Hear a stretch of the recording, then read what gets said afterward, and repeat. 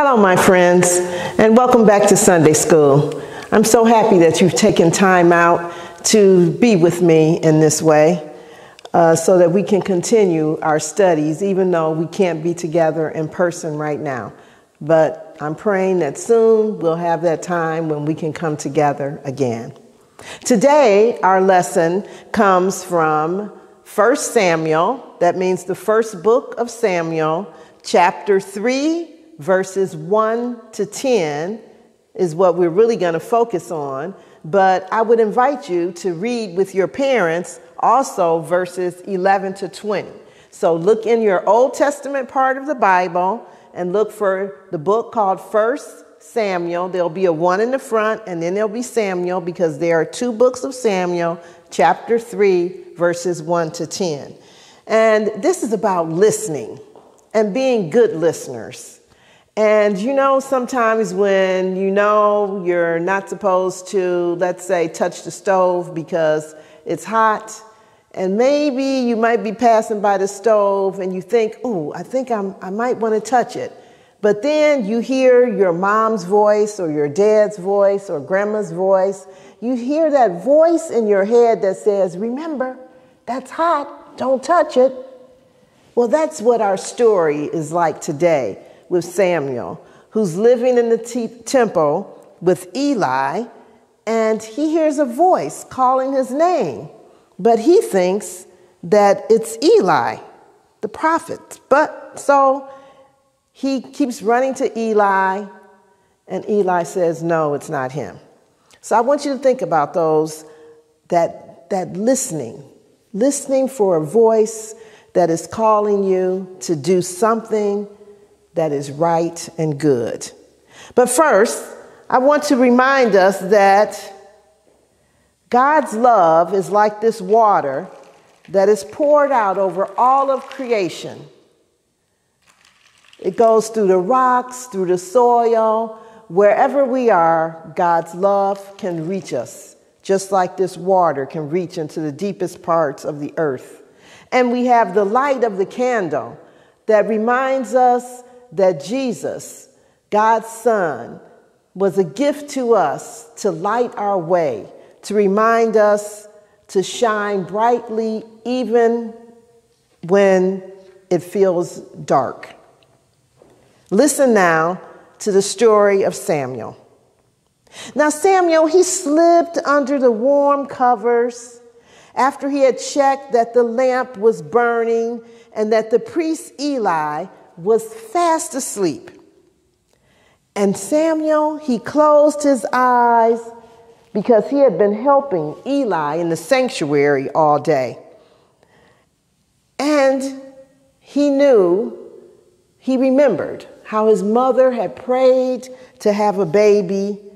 And after a long time, she was able to have a baby. She called him Samuel. And because she had prayed for so long, she felt like Samuel was the gift from God to her. And so she dedicated Samuel, her little boy's life, to God so that he might serve him and help him.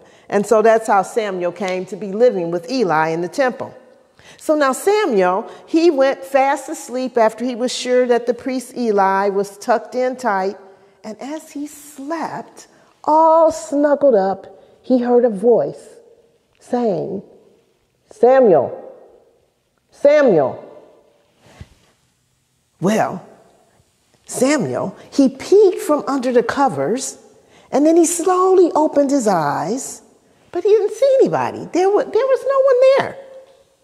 Well, he thought it must have been Eli. So Samuel got up and he went to where Eli was sleeping and he said, Here I am, Eli, you called me.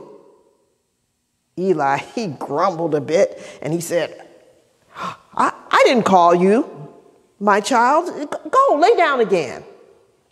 So Samuel, he went back to his bed and he pulled up the covers quickly and he went back to sleep. And again, the voice woke him Samuel, Samuel. Samuel peeked from under his covers and he slowly looked around, but there was no one there. So he got up and he went to Eli again. And he said, Here I am, Eli. You called me. Eli said, No, no, I did not call you, my son. Go lay down again. So off to his bed went Samuel and back to sleep. And as soon he was asleep, sure enough, Samuel, Samuel. Slowly, Samuel got up and he went to Eli one more time. This was the third time. Here I am, Eli. You called me. This time, Eli sat up in his bed and he looked and he said, No, I didn't call you, Samuel. I think God is calling you. Now you go lay down, and if you hear that voice again, say, Speak, God, for your servant is listening. So Samuel, he did just like Eli told him. He went back, but Samuel, he, he just couldn't go back to sleep. His ears were wide awake. And then he heard the voice said, Samuel, Samuel. And Samuel replied, Speak, God, your servant is listening. So then God gave Samuel a message to give to Eli the priest. And then, as it turned out, God had special work for Samuel. Samuel would be a prophet, and he would give messages to God's people. And Samuel would help the people follow God's way once again. Wow, what a story, huh? There he was, little Samuel, a little boy, just like you, my friends, a little child, and he heard this voice. Just like you, when you're about to do something that you know might not be a good choice, you can hear your mommy or your daddy saying, No, no, you shouldn't touch that. No, no.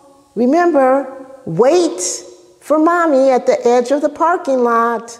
Don't go out into the parking lot. Wait at the edge of the sidewalk. You hear that voice. And those voices that help us to make good choices could be the voice of God leading you.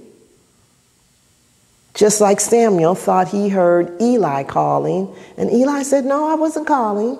It turned out God was speaking to him, and he had things for him to do. So you have a chance, my friends. When you see a friend not being kind to another friend, you hear that voice saying, Oh, that's not the right thing to do.